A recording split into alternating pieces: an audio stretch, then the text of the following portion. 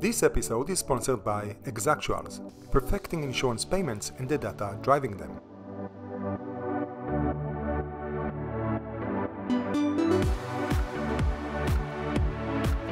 I, I remember you turning up in like jeans and t-shirt or something like completely inappropriate for the weather. I'm sure. Oh, not just the weather. Usually also for Lloyd's, right? There is a certain yeah, exactly. Uh, sort of strict uh, dress code in Lloyd's, and I think that in the lab we just yeah. broke it.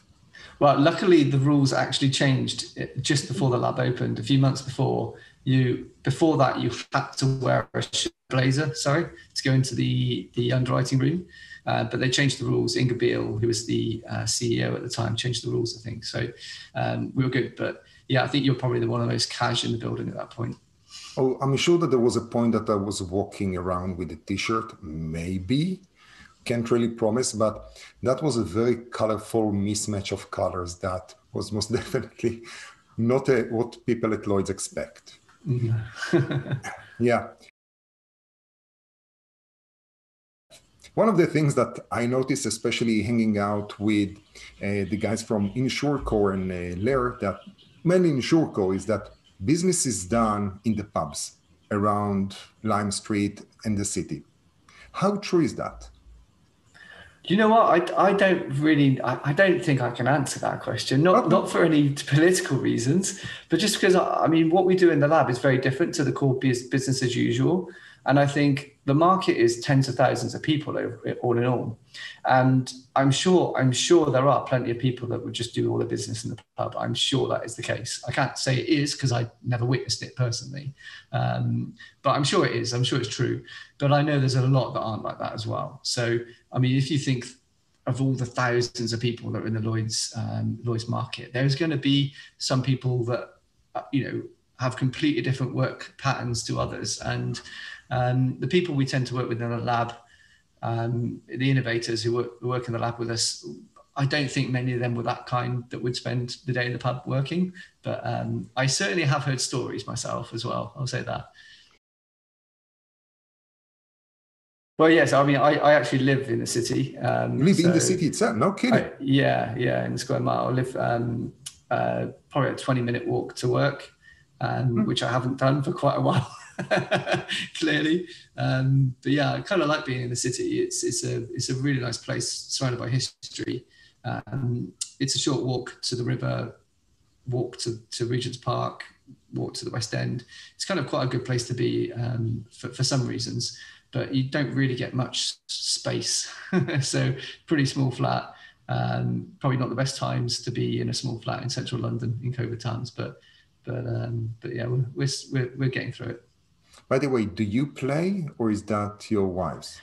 So the piano yeah. um, we bought as a lockdown uh, a lockdown hobby. So mm. I started playing in April, and I actually really enjoy it. It's pretty good fun. So uh, I've been learning from scratch, and I can I can play a few tunes. I won't I won't uh, I won't embarrass myself just now. no, no, no, that's fine. yeah, it's good. Yeah listen, this is something that I picked up. It's a ukulele. At a certain point, I was like, yeah, that's that's big enough uh, for me to go like this. But that's uh... we can do a duet. I don't think so. Uh, the best I could do is uh, a C chord, right? Um, now, because you were talking about the size of the apartment, I was like, oh, is that an what is that? Is that a piano? It's a piano, yeah. yeah. so it's obviously not that small, but it's it's it's not exactly luxurious. So. Yeah, it's yeah. It reminds me the the size of. I used to live in New York, and then we had like those super super small apartments, and like whatever you can. You know, it's all about how can I optimize the storage. Yeah. Yeah. Yeah. I mean, I've seen some small apartments in places like um, Paris, and like compared to that, like those things like shoe boxes. This is pretty small, but it's not that painfully small, thankfully. Uh, well, you have a piano, not a grand piano, but it's a piano, which is already two steps. And I'm sure that the neighbors are happy. Yeah, well, but... it's, it's got it's electric, so I've got oh, I've got yeah. Um, brilliant. So then my wife doesn't have to put up with me either, so it's all good. Uh, that's great. Uh, so the city, the city has a great vibe. So everyone, uh, for people who don't really understand, so from time to time we need, you know, to to. Let's call it a quick explanation. The city, it's a kilometer by kilometer since the Roman Empire when they were over there, and all the insurance of the world is basically there. basically. well, look, so so in the city of London, it's got kind of it's got a lot of banks and insurance, um, a lot of banks and legal for law firms and things, mm-hmm. particularly around like the law courts. Um, but then the east end of the city um, of this of the square mile, EC3 is the postcode. That is just insurance. Like every building basically has got some something to do with insurance. So yeah, it's it's kind of the place to be. You can walk from the Lloyd's building to um, any one of the of dozens of, uh, of insurers or brokers um, within within like five minutes. So yeah, that is the heart of insurance. Um, I'd say heart of insurance in London and one of the hearts of insurance in the world, clearly. Most of I don't think that most people understand Lloyd's. What does it mean? And I'm not going back 300 years ago to Lloyd's uh, coffee shop. How does it work today with the syndicates and the brokers? Sure. So um, Lloyd's of London is actually an insurance marketplace. So Lloyd's is not an insurance company, um, but it's it's kind of a, a special thing. To, to, say Lloyd's is a company or whatever is is is kind of difficult because it was it's not a limited liability company or a public limited company. It's it's it was found it was created by an act of parliament. So it's kind of a specific law that makes Lloyd's exist. Um, but it's a marketplace and it has a lot of um, services that it pro- provides to the insurers within the marketplace, and that includes the ability to write in different countries around the world. Um, the way it works with the syndicates, it can be very confusing to people. Um, but what, what happens is is a bunch of people with money that want to invest it will come together and create a syndicate. And so they put all their money in a pot and say, okay, we want to get some investment return on our money. So we'll create a syndicate. That syndicate will be like syndicate 1738 or something. And they'll create that syndicate. And, it, and their aim with that syndicate will be to ensure, for example, marine hull risks. So then what they need to do is they need to get in, they need to get someone to actually run that syndicate for them. So then they'll get what we call a managing agent, an insurer. So you know, for example, Hiscox or or um, Beazley or Beazley or AXA yeah. or whoever.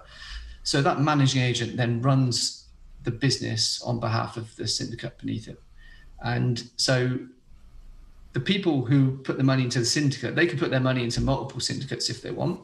Mm-hmm. And the, the organization that runs it on their behalf, the Hiscox or whoever it might be, they could run multiple different syndicates as well. So it's kind of a many to many relationship in a way. But let's just take one example of a syndicate. We've got all these people putting money in, and we've got a company running it on their behalf. We have about 55, 54, 55 of those managing agents running syndicates at Lloyd's. And each one of those could specialize in a certain thing, like I say, marine cargo or um, or maybe property or whatever it might be. They all have their specialisms. And they will typically have a box in the Lloyd's building. And a box is basically just a place to sit, but they call it a box. And um, the underwriters will sit in that box, and they will they will sit there during the working day. Um, not anymore. They sit at their de- de- desk at home, but let's go back to the room. They're sat in their box, and a broker will walk in with a binder full of information and a load of kind of details on a risk that they want to insure. They'll have a conversation with the underwriter. Perhaps they'll do a deal, perhaps they won't. And then the broker will then go walk to another box, walk to another box, walk to another box until they've until they've covered all the risks they need to cover. Um, but yeah, what what happens is those boxes will be for different managing agents, and um, and they are basically the insurers in Lloyd's market. Now, the, although there might be, I don't know how many managing agents all doing marine hull risks, they're kind of in competition with each other, but they're also collaborating with each other. So a broker might come in and he might have 100 million of risk that he wants to wants to insure, and he might go to the first underwriter, and that first underwriter might cover the first 20 million. but then they've still got 80 million they need to cover. So they'll go to they'll keep on going to syndicates until they've got the risk fully covered. And what happens often is is some syndicates will follow only. So they'll only they won't actually be the first to, to underwrite a risk. They'll only follow if they know that somebody decent has a decent underwriter has started it and they'll follow on. Um, and what you find now is is companies like Ki um, from Brit, which is the first automated uh, insurer. They are follow only, so they will follow the lead of various other insurers in the market and they will provide capacity and provide terms of insurance and all that, all based on somebody who's who's been a leader. So um, it's I think it's getting confusing already. But basically, you've got people who provide capital, um, and that's the capital with which the insurer runs. That's the syndicate. Then the managing agents run that syndicate, and then brokers will come in and do business with those managing agents, and those managing agents work competitively but also collaboratively with, with each other in that market. Let me ask you that. So back in the day, there was I don't know if it was an anecdote or just an urban legend that when they tried to do the first sort of digital transformation, uh, uh, I forgot the name of that project, but basically they gave iPads to the brokers. So instead of them running around with the binders, they will just have everything there. So if God forbids you lose a binder, you need to redo everything from the start and it caused such a, a tom, a tom ah, I cannot pronounce it, uh, an uproar in a sense that at the end of that day they basically stacked the iPads outside of a pub and left it there. Again, I heard the same story. yeah, it's, again, it's a story. It's a funny story. Yeah. But I, I, from before I joined, but I, I heard that. I, I, don't know how true it is. Um, I think it, it, I can imagine if you've got a binder full of information, it's going to be it's probably been collected over a long period of time. It's probably lots of different formats. It's things that some somebody's given you, something you've printed off yourself. It's got your handwritten notes on it. And if you go from that to be given an iPad um, and you don't have a I, you know, if it was a, not an iPad Pro and you didn't have a pencil, you wouldn't be able to write on it, you know. So it's kind of read only. So I can imagine it goes from being something quite useful, which you can actually hand to somebody and you can you can talk around, you can write on, through to something which is just read-only device, which you then have to sync and you've got no internet or whatever. I can imagine it could be a bit of a barrier for some brokers. So I think that's the example of like really good technology, but just not implemented very well, probably. I think there's there's probably a lot better ways of doing that, and I think the take up will probably be a lot better if it wasn't just thrown upon them. If that's what happened. Well, again, it's uh, I think it's a, I don't know if it's just a story or a legend or whatever that may be. It's again, it's a story that I've been told when I, when I joined. So if it's pre your time, most definitely it's pre my time, and it's just it's funny, in a sense. I, don't I, think I think there's something cool about the tradition of Lloyd's, and I think it's something that draws people to Lloyd's. But then I, I think we can also use technology and make make everything better without ruining the tradition. You know, it's just I think it's just about making the best use of technology to kind of, for example, make a cyber underwriter. You know, not not a, an underwriter who does cyber, but kind of like make an underwriter kind of fully equipped to do everything he can or she can from their desk immediately with all the best information to understand the risk and all the you know having the ability to do video calls as well as see somebody straight away next to them uh, the ability to kind of understand the risk fully but still have the valid, valuable conversation with the broker. Because I, I, I like the tradition of people coming into the building and talking to each other about complex risks, where they need to build, they need, they build relationships and they kind of, they, they, they build trust. And, um, and I, I, think that kind of stuff works really well in the Lloyd's, Lloyd's building. Um, I don't think it means you can't have technology and innovation. I think you can have both. Um, I think the tradition of having to wear a tie is, is maybe not so required, but um, but the you know other traditions that we have in Lloyd's, I think I kind of like them, and I like the the added dimension it brings to, to work. You go into work at Lloyd's knowing the history, you know, and kind of you go there seeing stuff and seeing how things have been done, done in the past, and and I think you know it's it's just cool going to going to work in a in a place where you know it was involved in insuring the Titanic, you know, and you know that um, you've seen pictures of how people were operating 100 years ago and like sometimes you wince at the fact that it's actually quite similar now but then you also think well actually the interaction between people is really valuable. Uh, what i'd like to see is in like five years time still having those face-to-face conversations but the, the underwriters and the brokers having such technology at their hands that they they're using those conversations to deal with really important points and relationship points and you know parts of parts of um, discussion and negotiation that I think wouldn't necessarily be quite as effective virtually or remotely or on email and things like that. How do you guys at the lab pushing that forward? So, um, I think it's bit by bit the lab is doing it. You know, you, you don't come to the lab to, uh, you don't expect the Lloyd's lab to like completely be a game changer for the whole of the market. It's just it's just not going to happen. I don't think any of the startups we've had in would be. You, you couldn't really say that they are um, um, disrupting insurance. Really, I, I, don't think. I think we're just bit by bit bringing bits in. We're, we're, we're trying to change a bit of the culture. You know, get people more accepting, more willing, more keen to take on innovation. We're proving that you know insurtechs can add a lot of value and we're doing that through in lots of different areas. So, you know, for example, we've had startups creating a lot of um, parametric products, like Parametrix in 2020 launched a new product for cloud downtime. And then in December, if you remember, Google Cloud fell over spectacularly. Um, exactly the kind of thing that Parametrix was set up to, to, to ensure.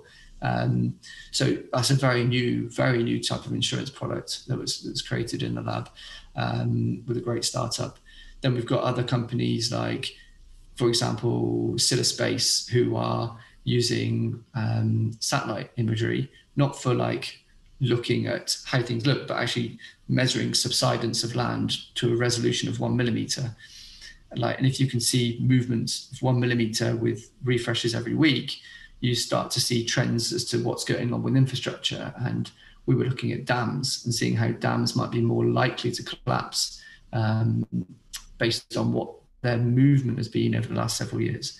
Um, other examples of things is, is using um, Optalitix have done a deal with Lloyd's, Lloyd's, um, Lloyd's of London, not just the insurance market, but with Lloyd's of London. And they've got an AI solution and they help kind of deal with spreadsheet complexity and put models on the cloud so that people in the in, in Lloyd's and in the managing agents that are working with us, they can share the model in a governed way. They can bring different data sources in and use them and, various things. And these are all kind of a lot of things we're doing are, brand new bits of tech. Some are, you know, tech that's been around for a while, but we're just using it in a slightly different way. But doing things that haven't been done in the Lloyd's market before and getting people to try that and see, actually, this is this works. This is really good. Um, and that kind of, I think, bit by bit gives them confidence to try more, try more new things. And over time, I think we'll see the Lloyd's market taking on more and more and more tech and um, and getting to that point. I hope where we have that bionic underwriter. Now, it's very interesting because there are many challenges, especially when we're referring to the tradition earlier and then moving forward, um, and especially the breadth of the different technologies that you can provide. Because at the end of the day, my understanding is that it's providing technology to the market and then it's up to the market members to pick okay that makes sense for us are you looking at that, at that as an you know added value to the service that you're providing and just telling the members here's something that can be helpful for you and they need to be active or is there some sort of a pull push yeah. mechanism? So i mean the lloyd's lab is a service to the lloyd's market. So that's that's that's true. That's definitely what we are. We're a service to the lloyd's market and it's up to the lloyd's market to to get value from it. So you know the more you're engaged as a managing agent the more you'll get from it and so we do rely on the market being engaged and and being mentoring the teams and bringing value like that. And we we like we think we're giving value back to to them as well. So they're getting they're putting some time in but getting a lot out of it. And we're seeing that because we've seen quite a few commercial deals being done with teams that met and worked together in the lab. Yeah we're making it we're, oh Yeah, I was about to say, you know, you, you mentioned mentors, so I need to give a, a shout out to uh, Lee and uh, Andy Stevenson that were my mentors. One uh, team, Teams was with uh, Beazley, uh, Bigsley back in the day, and I think that Andy was with Hiscox. So.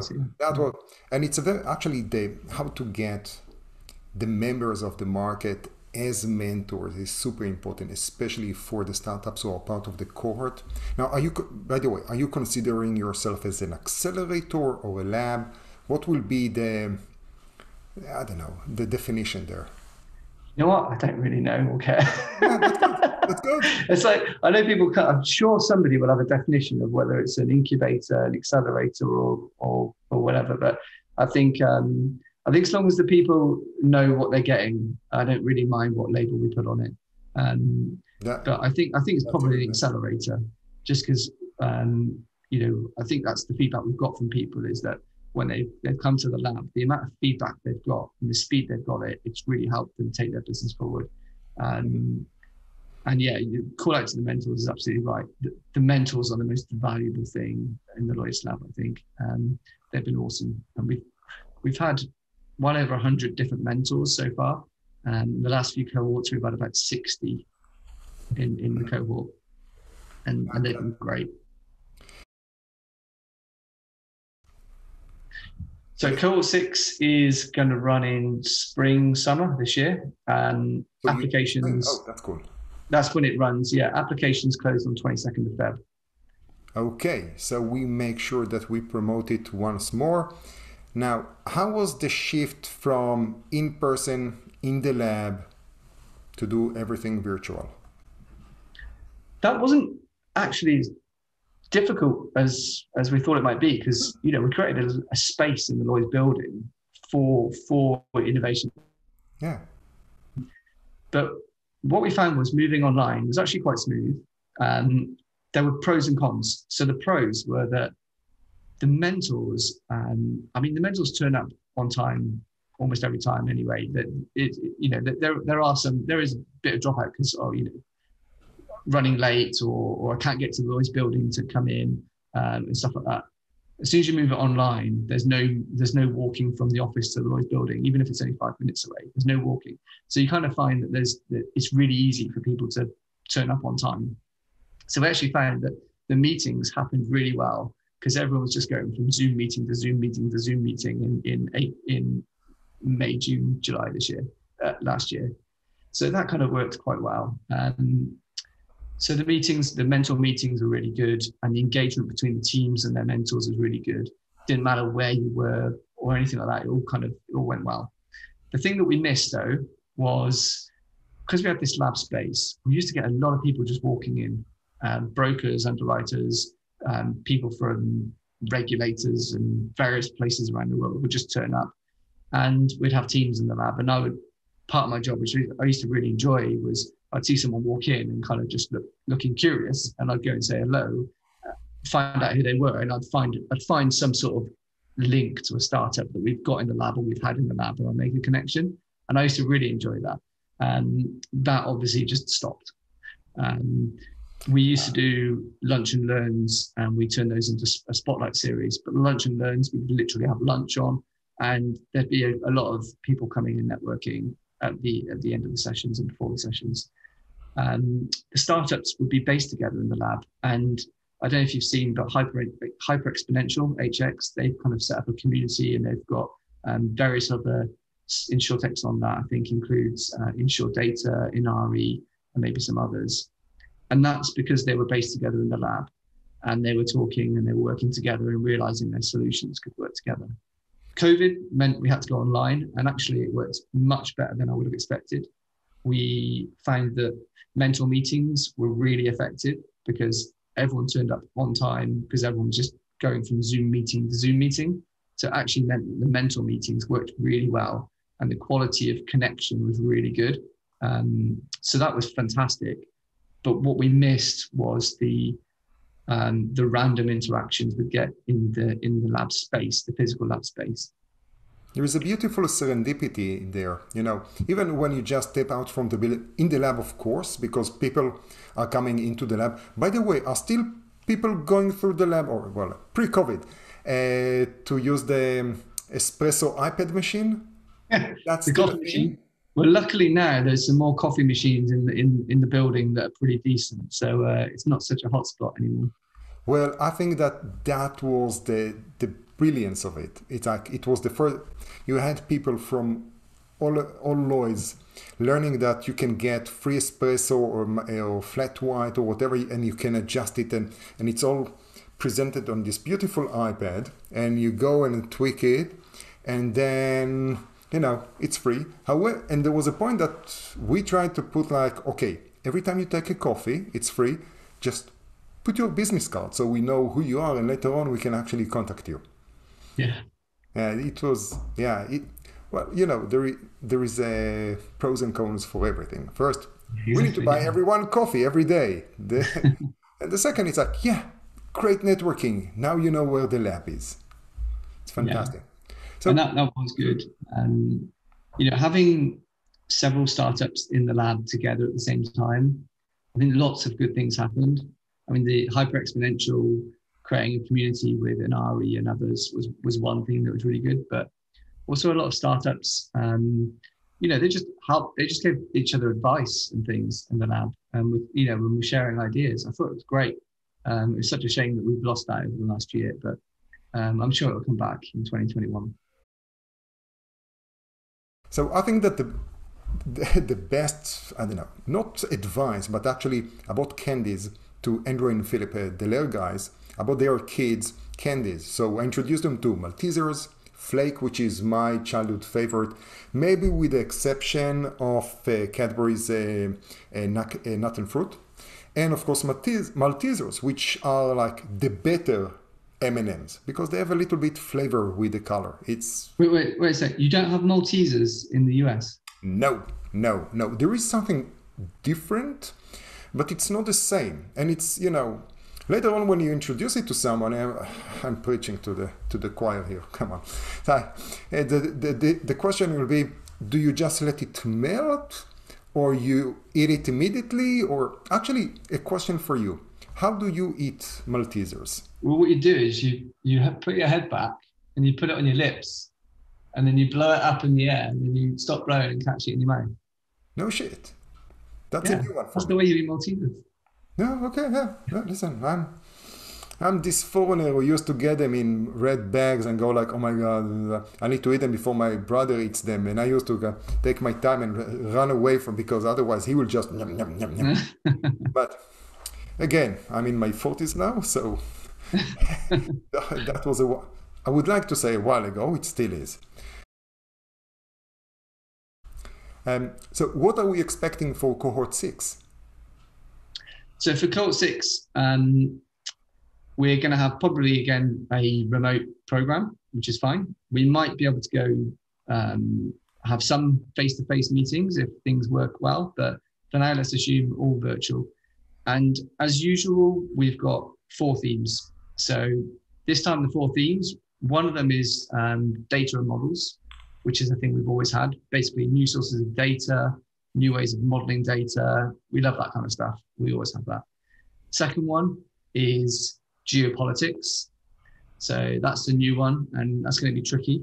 So we're looking for great geopolitics solutions, things that will be relevant to Lloyd's um, Lloyd's market. Climate change, decarbonisation.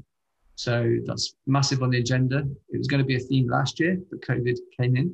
So um, it's a theme this year for us, um, something we're looking a lot at.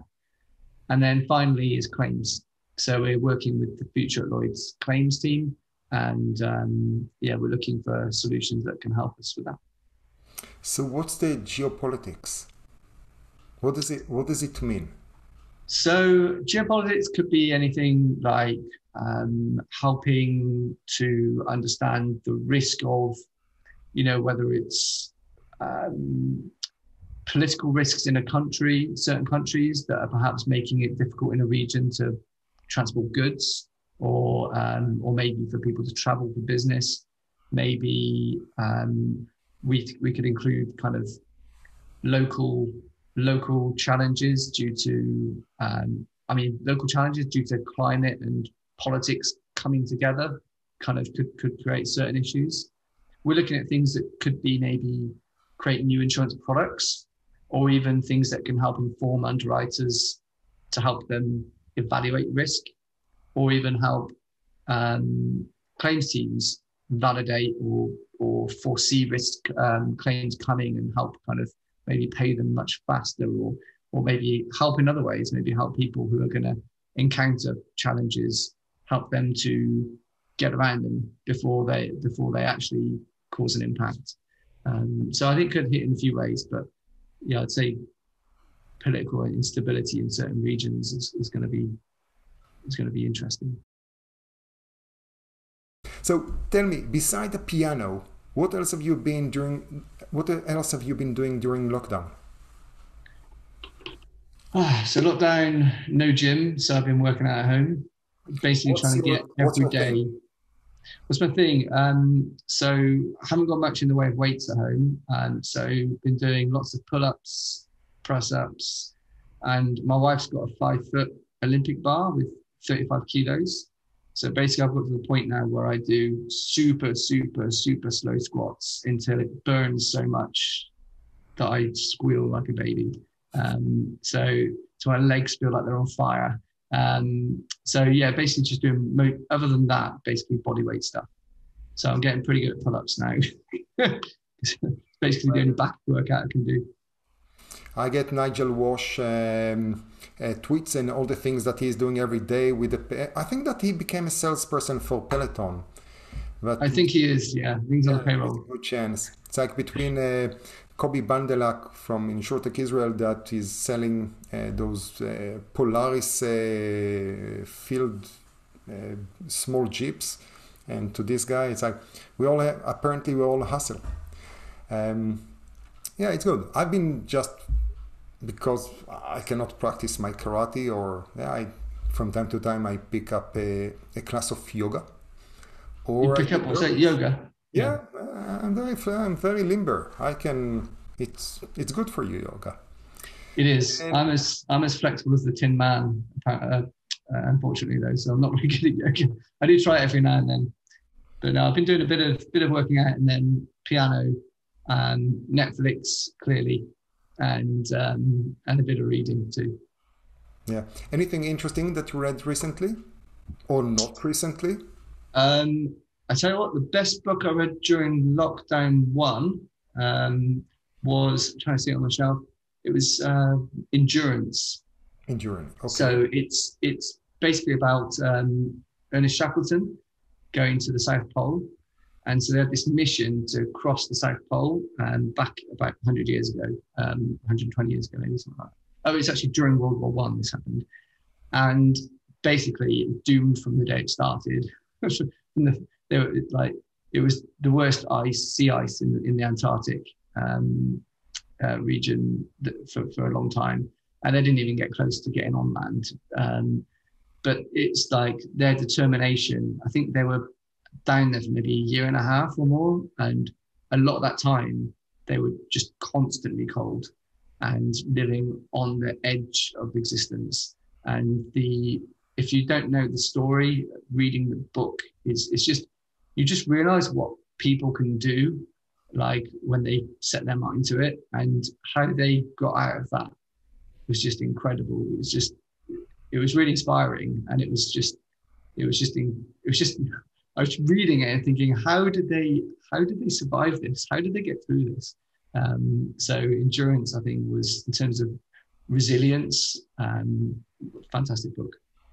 Yeah, I can add a recommendation, especially with the turmoil, uh, the democratic turmoil that we see nowadays.